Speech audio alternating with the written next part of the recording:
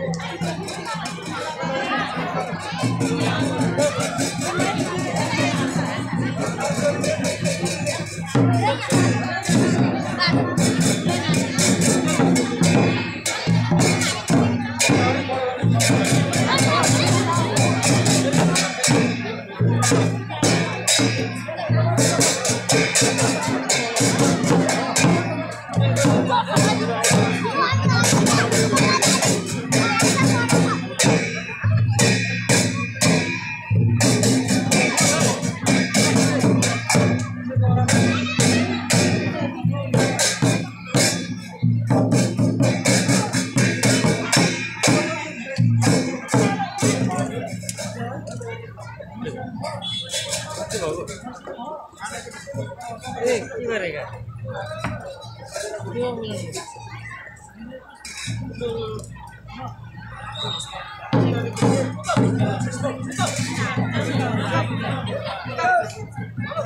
sir सब